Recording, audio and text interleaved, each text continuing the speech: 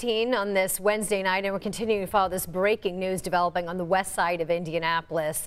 A fire at the Walmart distribution center that's located in Plainfield. You can see clearly how thick and how black the smoke was rising over the Walmart building this afternoon. Kevin Mangus shared this video that he took from the airport area people are reporting that they've seen this for miles around. Oh, yes. I mean, it was really an impressive uh, plume of smoke. Fortunately, it's died down a little bit at this hour. This fire started a little bit before noon, so now we're five hours in. Jennie Runevitch joins us live from the scene right now with the latest of what she's learned from authorities there. Hey, Jennie. Yeah, Anne Marie, this is hour five of a massive fire at a really massive facility. This Walmart distribution center, 2.1 million square feet. So there is a lot of stuff in there that can burn and burn it did. Now, you mentioned it looks a lot different. Uh, you can see there is still a plume of black smoke. The firefighters are still battling this fire, but my goodness, what a difference since this first broke out just before noon.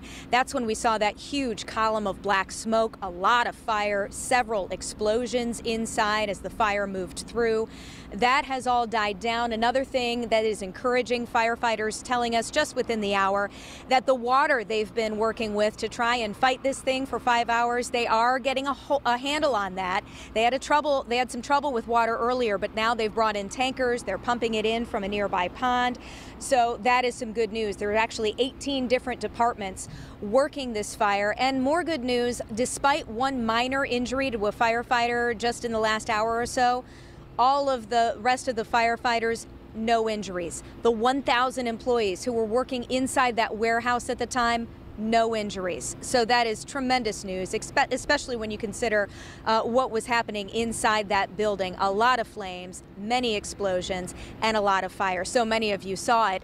Uh, I saw it from the south side driving in uh, earlier this afternoon. I had messages from people all the way in Westfield seeing the big plume of smoke. But again, the good news is no injuries from this massive fire. We'll bring you another update in about 15 minutes.